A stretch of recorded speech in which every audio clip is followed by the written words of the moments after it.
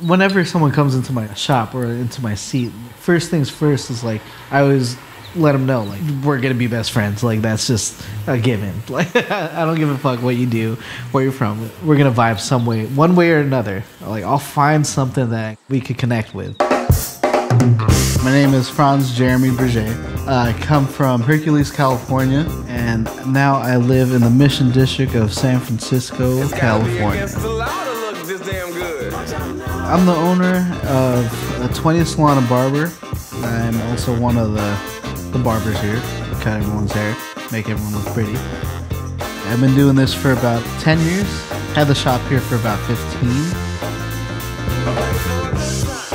For me, I feel like I do more classic kind of styles. Like I want something that people can wear for like over a month. I don't care. I, I want you to look the best.